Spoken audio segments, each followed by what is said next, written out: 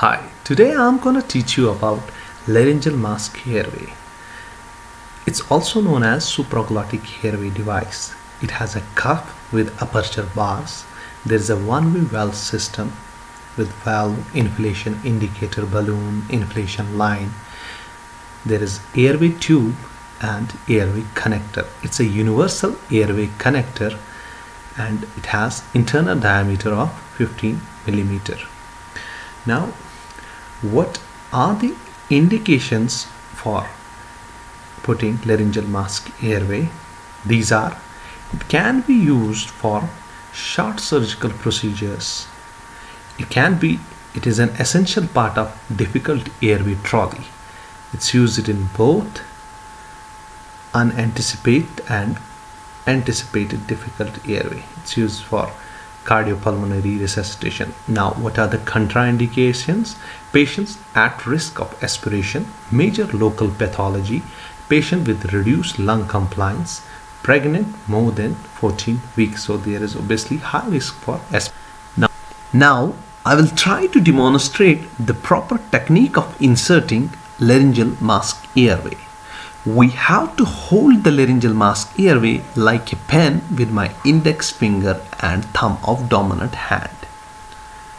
So I'm holding laryngeal mask airway like a pen keeping index finger at the junction of cuff and tube.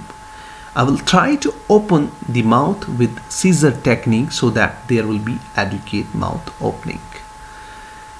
Direct the laryngeal mask airway against the hard palate and push it down keeping your index finger in position. Push it down till you feel the resistance.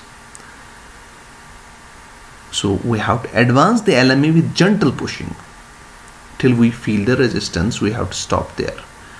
Now hold the laryngeal mask airway with your non-dominant hand removing the dominant hand non-dominant hand holding will prevent accidental removal of laryngeal mask airway inflate the cuff with recommended volume. There will be slight upward movement of laryngeal mask airway and anterior bulging. That will tell us the correct positioning of laryngeal mask airway.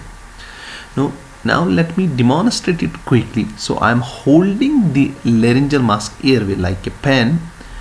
I will try to open the airway open the mouth with scissor technique. Direct laryngeal mask airway against the hard palate pushing it down with my index finger.